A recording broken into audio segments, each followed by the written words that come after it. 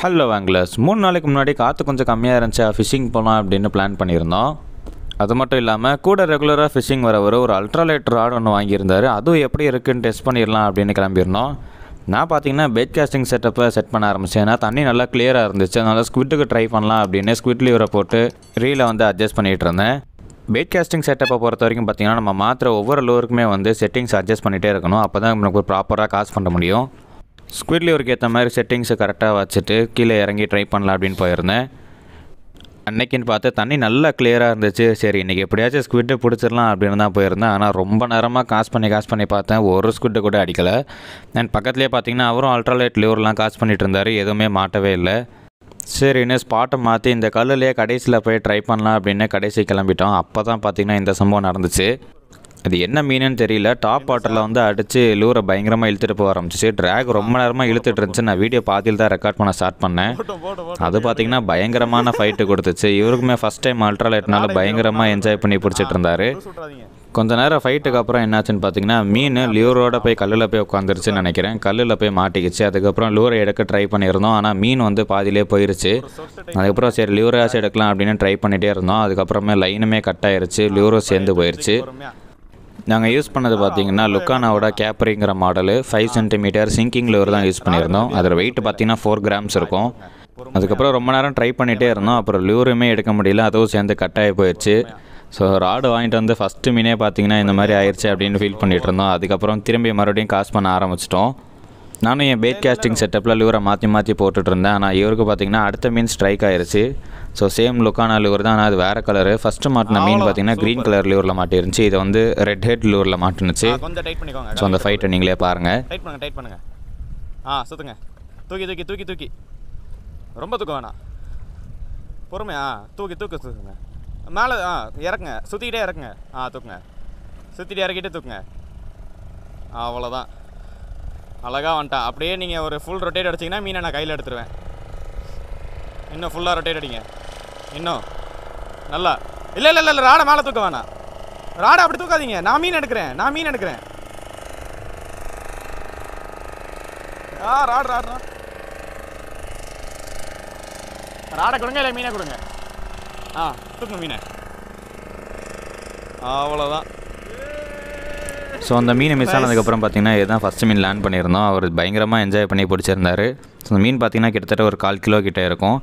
அதுக்கப்புறம் மறுபடியும் காசு பண்ணிகிட்டு இருந்தோம். நானுமே பார்த்தீங்கன்னா மாற்றி மாற்றி காசு பண்ணுறதா ஒரு மீனுமே அடிக்கல. அதுக்கப்புறம் பார்த்தீங்கன்னா அவருக்கு இன்னொரு மீனுமே ஸ்ட்ரைக் ஆயிடுச்சு ரொம்ப ஹை ஸ்டிக் கொஞ்சம் இறக்கி தூக்குங்க. ராடை இறக்கி தூக்குங்க. ஆ. ஆ அவ்வளோ தூரத்துலேயே ராடை பிடிக்கணும் இன்னும் கொஞ்சம் ஃபைட் பண்ணுங்கள் பக்கத்தில் வரட்டும். பக்கத்தில் வரட்டும்.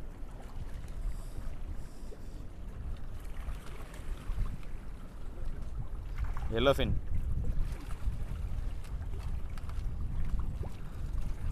ஆ ராடை கொடுங்க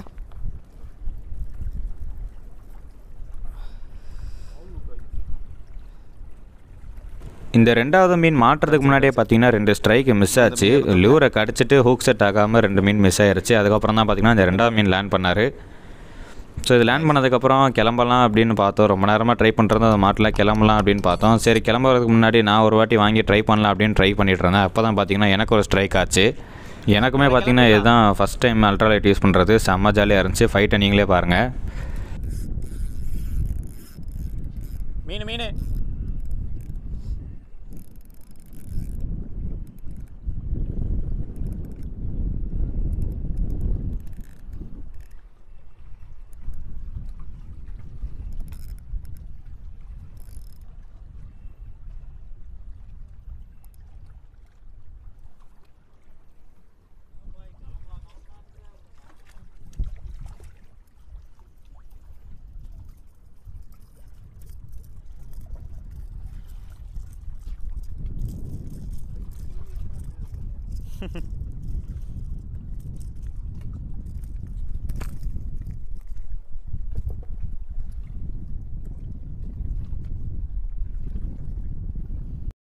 எனக்கு மாட்டினது பார்த்தீங்கன்னா கொஞ்சம் சின்ன சைஸாக தான் இருந்துச்சு. ஸோ ஃபஸ்ட்டு நாள் அல்ட்ராலைட் ட்ரை பண்ணுறதுனால அந்த மீனை எடுத்துக்கலாம் அப்படின்னு எல்லா மீனையும் எடுத்துக்கிட்டோம்.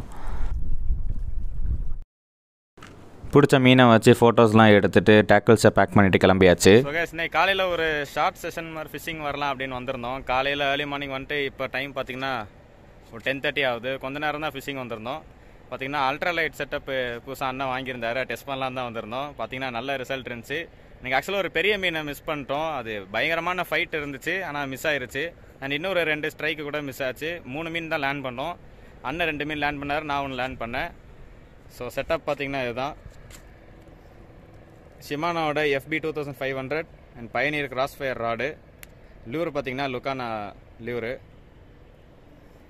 ஸோ அண்ணனுக்கு பார்த்தீங்கன்னா இதுதான் ஃபஸ்ட்டு எக்ஸ்பீரியன்ஸ் அல்ட்ராலைட்டில் அப்புறம் எப்படி இருந்துச்சு? நல்ல பயங்கரமான எக்ஸ்பீரியன்ஸு ஆக்சுவலாக நம்ம பெரிய ராடை ஃபைட் பண்ணுறதை விட இந்த லைட் டேக்கில் சின்ன மீனை ஃபைட் பண்ணுறது பார்த்தீங்கன்னா அதிகமாக ட்ரிக்கியாக இருக்கும். பெரிய ராடில் நம்ம தைரியமாக அப்படி சிலுக்கலாம். ஆனால் சின்ன ராடில் அப்படி பண்ண முடியாது. கொஞ்சம் எக்ஸ்பீரியன்ஸ் இருந்தால் தான் பண்ண முடியும். ஸோ பார்த்தீங்கன்னா அது ஒரு மீன். அண்ட் இன்னும் பார்த்தீங்கன்னா ரெண்டு மீன் லேண்ட் பண்ணியிருக்கோம். ஸோ மூணுமே பார்த்தீங்கன்னா அந்த ரெட் ஹெட் லியூரில் தான் லேண்ட் பண்ணது. பெரிய மீன் பார்த்தீங்கன்னா க்ரீன் கலர் லியூரில் அடிச்சிச்சு. ஆனால் வந்து அதை லேண்ட் பண்ண முடியல. லியூரோட சேர்ந்து கட் ஆயிருச்சு. ஃபர்ஸ்ட் டைம்னால ஆமாம் கரெக்டாக ஹேண்டில் பண்ணவும் முடியல. ஹேண்டில் பண்ணது இல்லை. அது கொஞ்ச நாள் மிஸ் ஆயிடுச்சு போக போக இன்னும் நிறைய ட்ரை பண்ணுவோம் அல்ட்ரா லைட்டில் ஓகே ஸோ இந்த வீடியோ பிடிச்சிருந்துச்சுன்னா மறக்காமல் ஒரு லைக் பண்ணிடுங்க இன்னொரு தரமான கண்டென்ட்டோட அடுத்த வீடியோவில் வாங்க பார்க்குறேன். Thank you bye bye